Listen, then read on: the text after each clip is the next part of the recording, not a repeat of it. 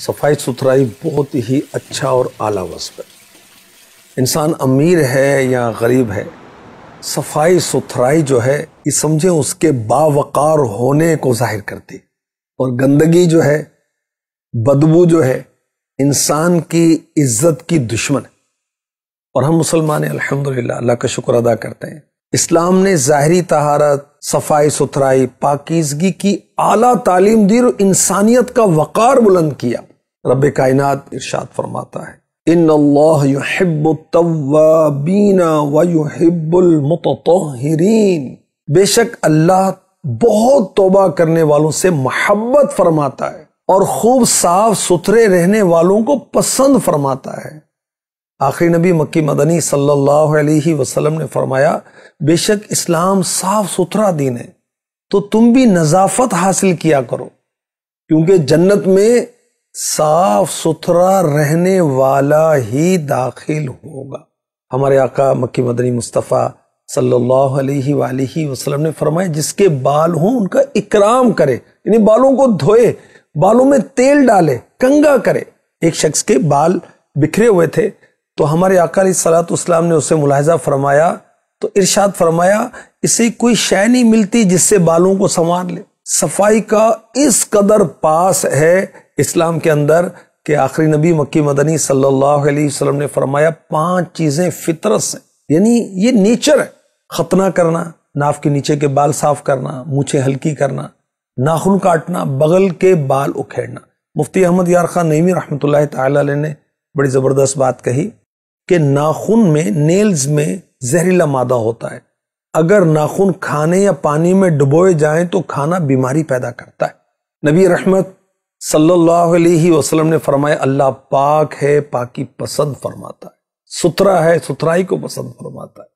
अपने सहन साफ़ रखो, यहूद से मुशाबहत ना करो। तो अल्लाह पाक बंदे की ज़ाहिर बातनी पाकी पसंद फरमाता है। बंदे को चाहिए कि हर तरह पाक रहे, जिसम पाक, नफ्स पाक, रूह पाक, लिबास पाक, बदन पाक, अखलाक भी पाक हो, अकवाल भी अच्छे हो, अफाल भी अच्छे हो, अहवाल भी अच्छे हो, अकायद भी दुरुस्त हो। घर भी साफ़ रखे कूड़ा करकट पड़ा हुआ है, जाला लगा हुआ है। यूँ नहीं। तो इस्लाम ने हर तरह की सफ़ाई का हमें हुक्म दिया।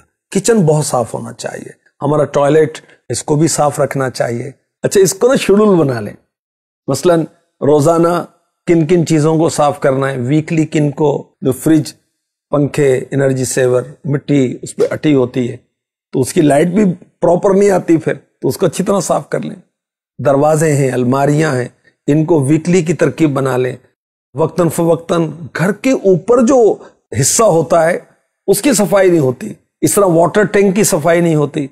तो सेहतमंद रहने के लिए साफ़ पानी इस्तेमाल करना है, पानी उबाल कर पीना है। गली को भी, मोहल्ले को भी, दफ्तर को भी, मस्जिद को भी, ट्रेन को भी, बस को भी साफ़ रखना है। वो बाज लोगों की आदत होती है, केला खाया तो छिलका फेंक दिया। अरे भाई, कोई फिसल जाएगा, किसी को चोट लग जाएगी। बाज वो जो पान खाऊ होते हैं, जो पान की पीक जो है, उसको थूकते रहते हैं। कितनी कराहित होती लोगों को, इनको एहसास भी नहीं होता। तो पान खाने की लत पड़ी ही गई है। तो भाई, वहाँ पीक डालें जहाँ किसी को तकलीफ़ ना हो और सफ़ाई का भी इंतज़ाम हो। बच्चों की भी तरबियत करनी चाहिए, सफ़ाई की, सुथराई की। बच्चों की आदत बनाएँ कि खाने से पहले हाथ धोने। हैंड वॉश करें बेटा, खाने के बाद भी हाथ धोने। सोने से पहले मिसवाक करें या ब्रश करें। और उठने के बाद दांत साफ़ करें। इस तरह हम अपने सर के बाल, हाथों को साफ़ रखें। दांत मैले कुचैले हो जाते हैं, पीले हो जाते हैं तो इस पर पेस्ट करें, मिसवाक की पाबंदी करें। हर नमाज़ के लिए जो वज़ू करें, मिसवाक करें, आप ठीक हो जाएँगे।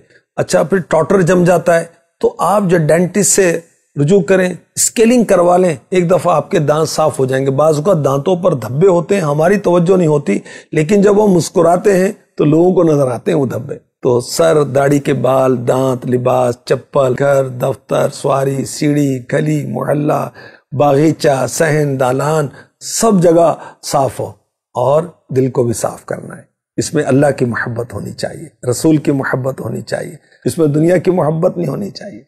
बातिन भी हमारा साफ़ होना चाहिए। अल्लाह पाक नसीब फरमाए।